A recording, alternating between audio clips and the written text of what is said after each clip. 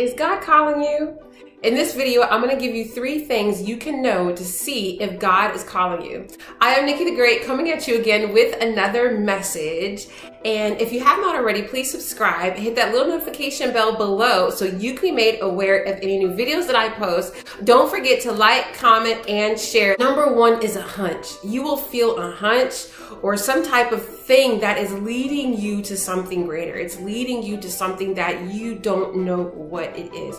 One thing about God calling you is it's completely foreign. It's something that you don't know. So on the inside, your subconscious is like, what is this thing that keeps that keeps making me feel weird? It's like a hunch that I'm referring to can either be a thought process or a feeling.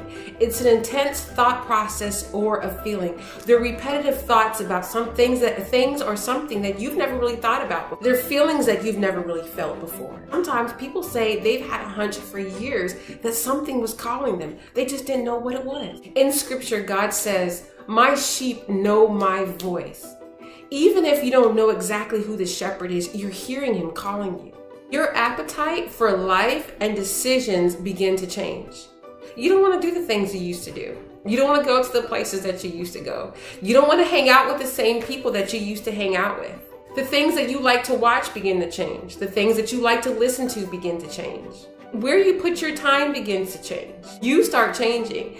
And what's funny is sometimes other people will notice the difference before you will. Number three, you start desiring things that you physically cannot find. There's a void within you that you don't know how to fill. There's a yearning, there's a calling.